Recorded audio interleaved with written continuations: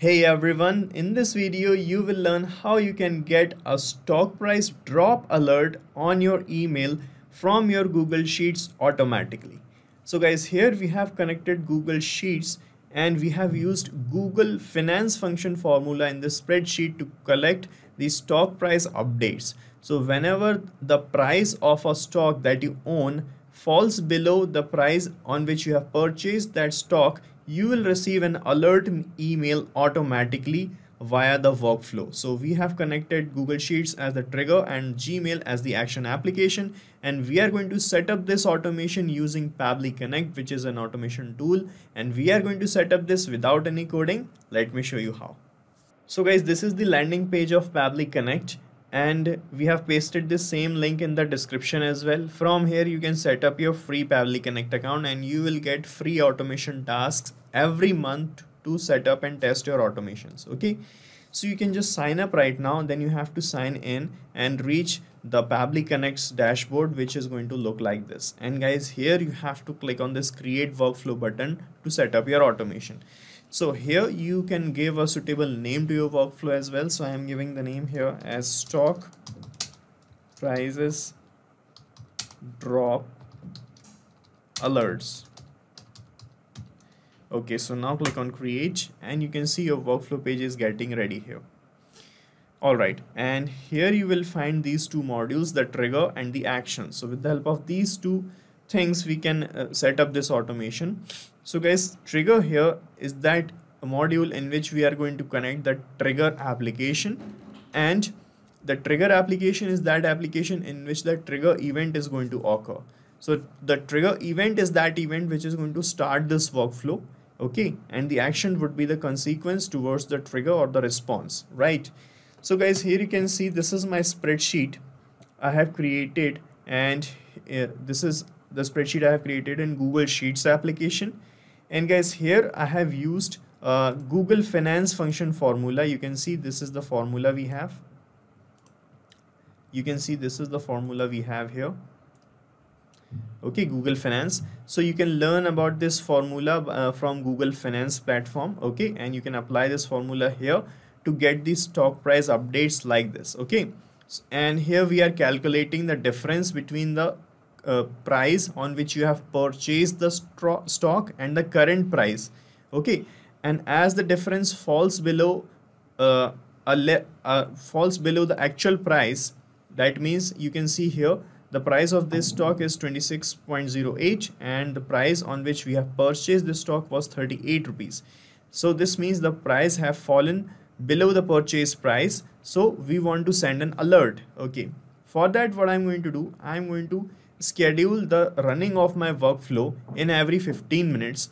And in every 15 minutes this workflow is going to check this spreadsheet and check the data okay? And calculate the difference then send you the uh, email okay? For that we are going to use a feature here in the trigger which is called scheduler.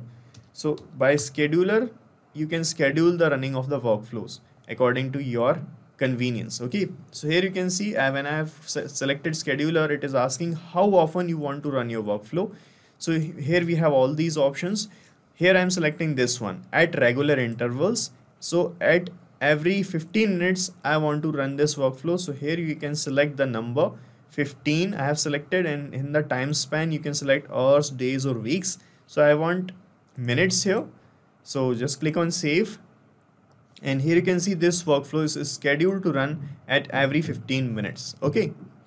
Right.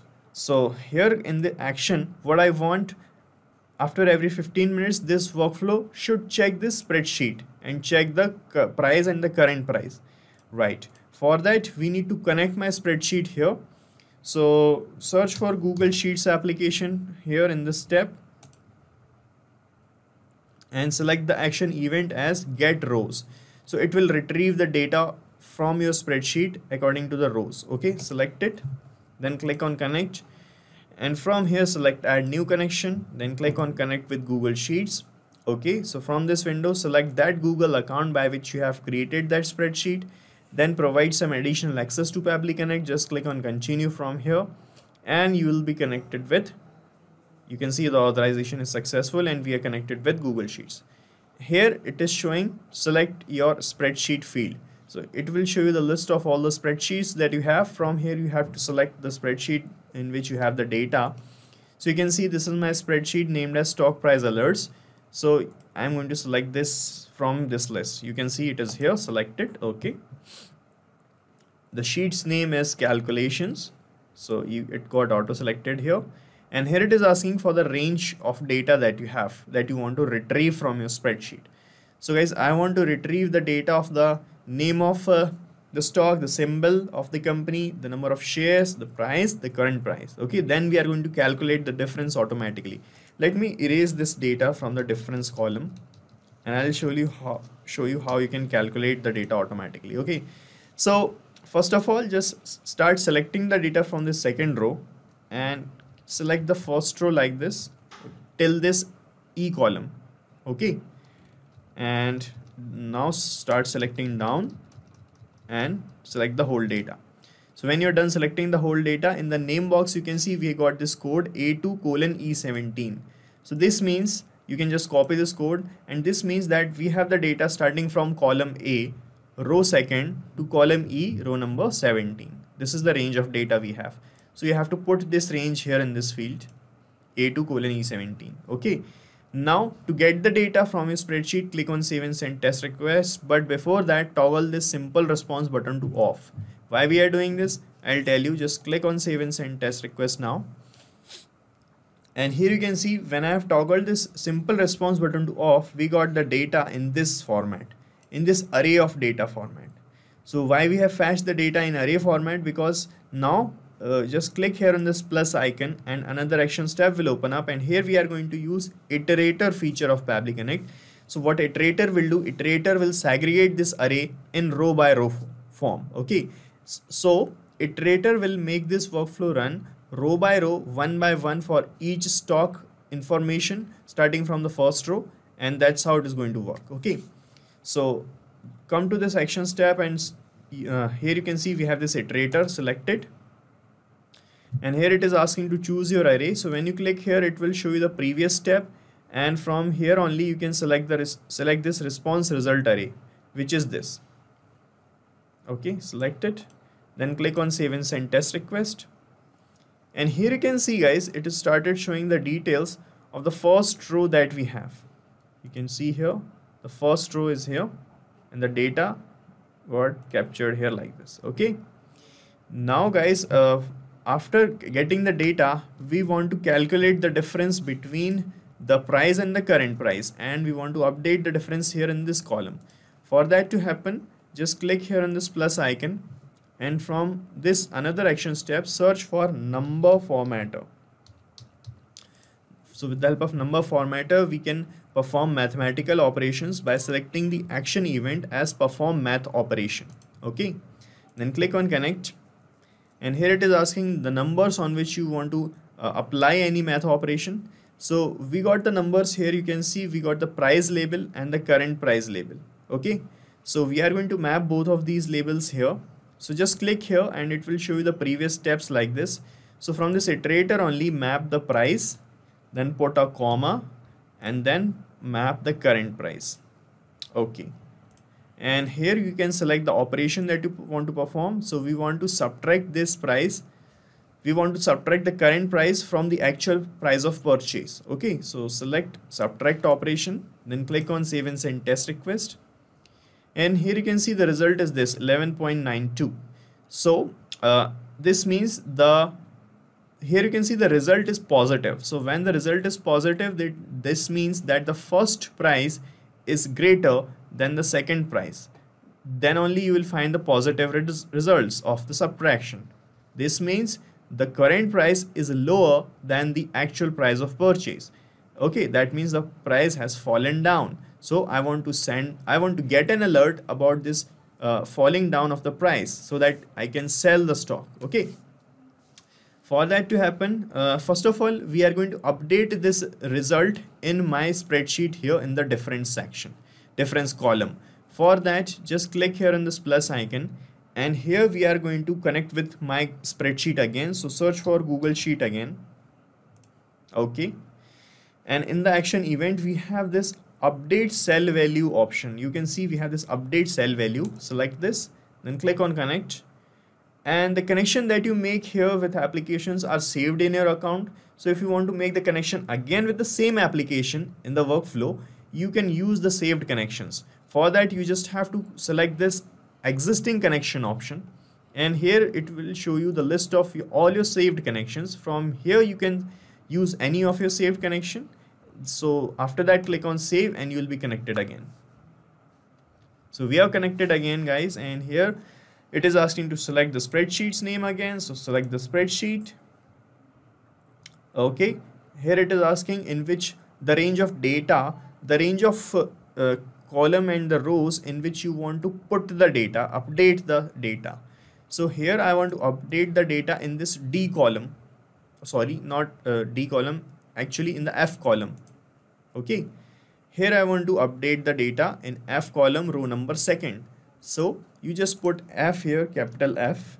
And for the row index we are going to use the previous steps. So from this iterator where you will find the data one by one of each row. Map this row index label here okay? So with every execution this label are these labels that you map are going to be updated and the correct value will be filled in the correct column and the correct cell okay?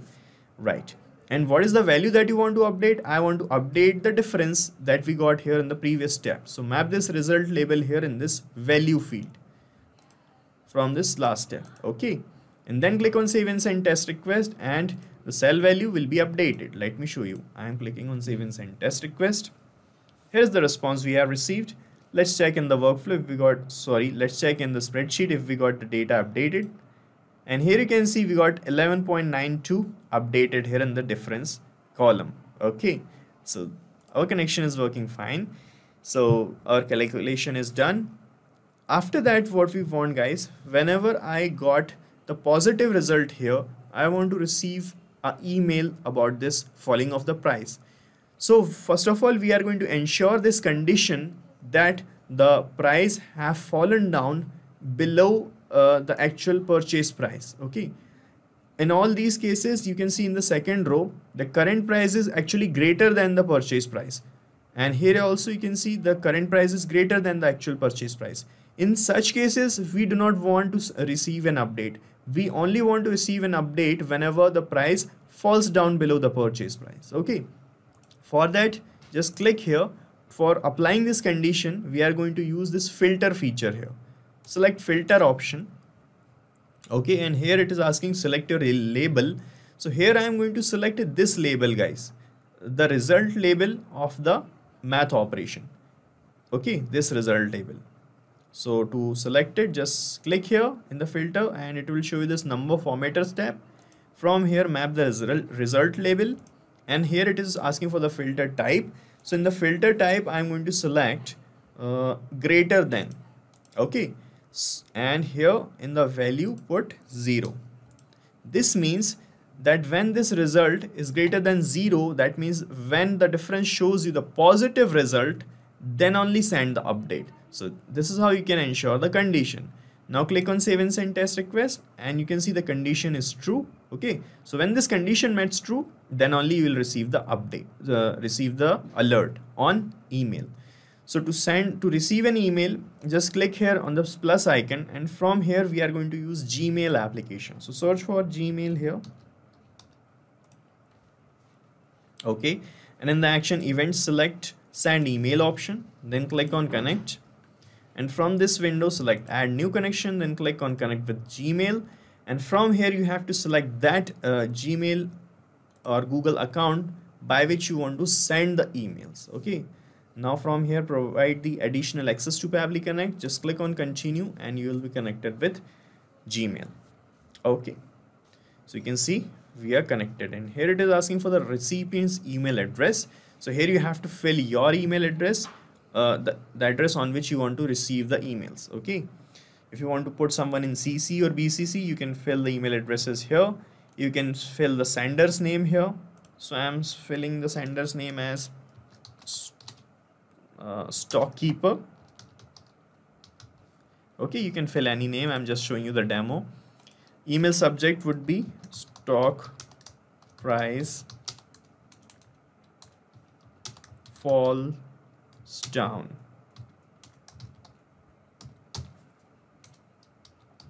okay. And here in the content type selecting plain content and in the email content you can actually type the email that you want to receive. So let me type a standard email. So guys here you can see I have written this email. Uh, I have written dear stock owner so here you can fill your name. This is to inform you that the stock price off. So after off I want to put in the name of the uh, stocks company and you will find the stock details from this iterator step from this iterators tab you can map the name of the company like this. And here you can read the stock price of this company shares has fallen down by rupees. And here you can uh, map the difference that you got from the number formatter okay by this rupees. And after that I have written please find the time to review your own stocks data. Put data here okay thanks and regards. So this is the alert email I'm going to receive and the fields I have mapped here the labels I have mapped here are going to change with every new mail okay? With every new execution of the workflow okay? Now you can check your connection with your email by clicking on save and send test request button and a sample email or a test email will be delivered to you in your inbox. So I can show you how the email is going to look like. Here I'm going to put my email address in the recipient then I'll click on save and send test request to show you the email. So guys this is my uh, email inbox and here let me click on save and send test request and let's see how the email is going to appear. So this is the response I have received here. Let's check in my inbox if we got a new email and the new email is here with the sender's name as stockkeeper the you can see the subject stock price falls down and you can see the email dear stock owner this is to inform you that the stock price of vanguard star fund investor shares has fallen down by this rupees. Please find the time to review the shares. So this is how it is going to work guys. So every time your uh, difference become positive here the workflow is going to check this spreadsheet in every 15 minutes and you will receive these kinds of alerts automatically. Okay so we are done setting up this automation and you have to set up this automation only once. After that, you don't have to do anything manually in the workflow. After that, uh, this workflow is going to run in every 15 minutes in the background and check your spreadsheet and send you the email alerts automatically.